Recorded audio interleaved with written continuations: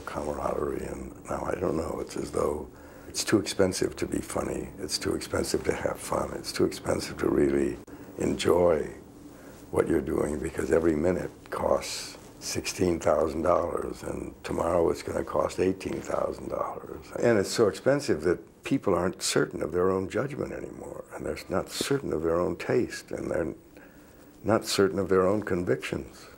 So they then have to put out cards to the audience and the audience then makes the changes.